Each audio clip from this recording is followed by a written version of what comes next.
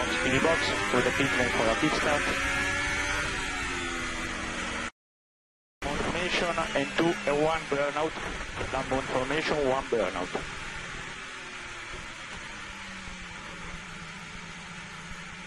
Okay, I missed the... I missed the pit exit line, so I, I need to... I cross it back on or back off because I think it's not correct.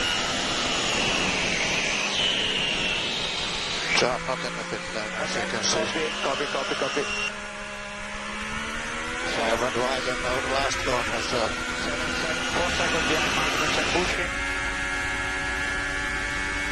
And Lamont safety car, Kimi, and three seconds Magnus and behind. Behind him there is a gap.